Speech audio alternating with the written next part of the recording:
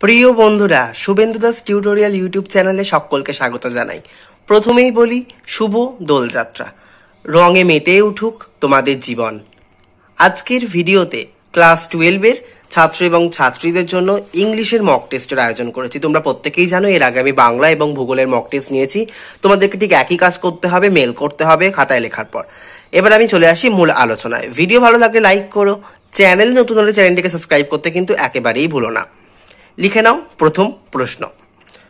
In this sight there are two red holes who is the person referred here what do the two red holes signify next question a soldier very young lies open mouth who is the soldier referred here narrate in your own words how the soldier lies in the valley.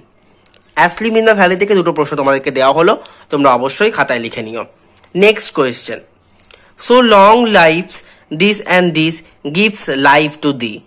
What is mean by this? Whom does this give life to? How long is this expected to life?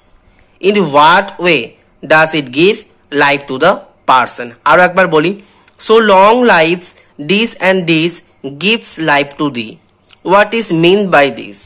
Whom does this give life to? How long is this expected to life? In what way does it give life to the person ভীষণ গুরুত্বপূর্ণ সামনের বছরের জন্য next question একই গল্প, একই কবিতা sorry sir I compare thee to a summer day থেকে?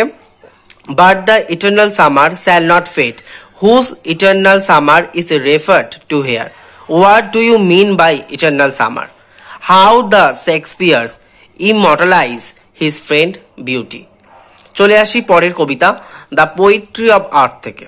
প্রথম প্রশ্ন what picture of summer is presented in the poetry of earth how has it been carried on to the picture of winter next question the title of Keats sonnet the poetry of earth discuss the poem as a narrate poem এই দুটো প্রশ্ন the poetry of আর্থ থেকে দেওয়া হলো।